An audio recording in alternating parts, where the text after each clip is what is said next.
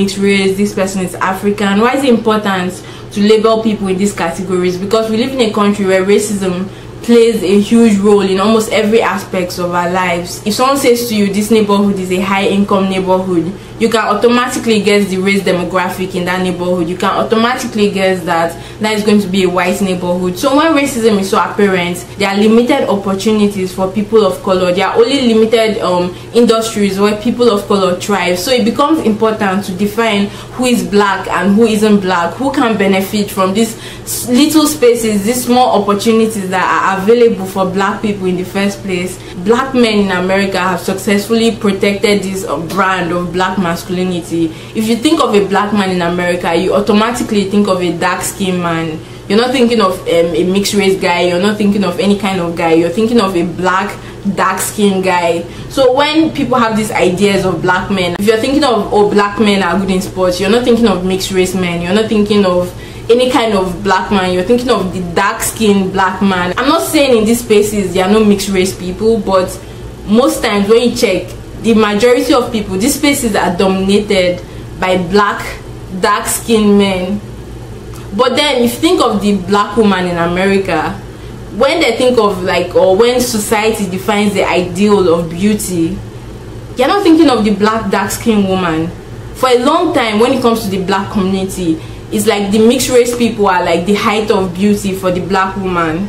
So in terms of promoting this brand of black womanhood i don't think black women have done a good job when it comes to that. If you think of like all the ideals all the standards that they keep promoting for us as women it revolves around the light skinned woman. So even when they are talking of having nice hair as a black woman they are talking of like 2c 3c hair. Those are the hair textures for mixed race women so for a long time mixed race women have been the ideal of beauty for black women. The opportunities like if companies want to dabble into blackness modeling industries and they don't want to get like a dark skinned black woman they're going to go to the mixed race woman because they want to act like they are diverse but they, do, they still don't want to hire black people. So in terms of black womanhood for a long time the ideal has been the mixed race women black men are obsessed with like mixed race women. I'm gonna say that especially in america a lot of black men are obsessed with mixed race women because they really present the or i say the mainstream ideal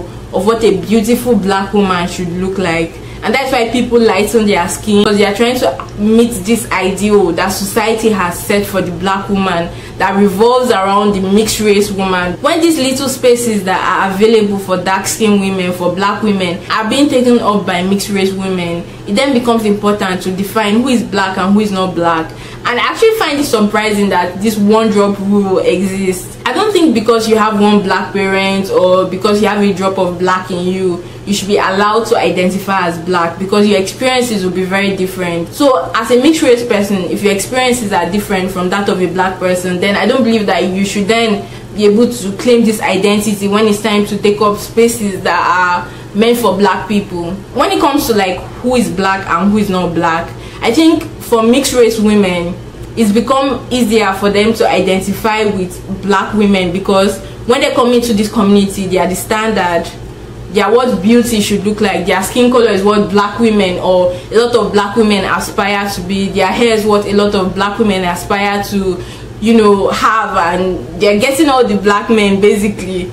But that is a whole different topic. If you look at Meghan Markle this woman has identified as a mixed race woman for a long time. So then it becomes important that as much as we can come together and share our experiences and share our stories and share our skills with each other there's this understanding and there's this consciousness of why these spaces are important to each one of us why these spaces are important to african american and why these spaces are important to african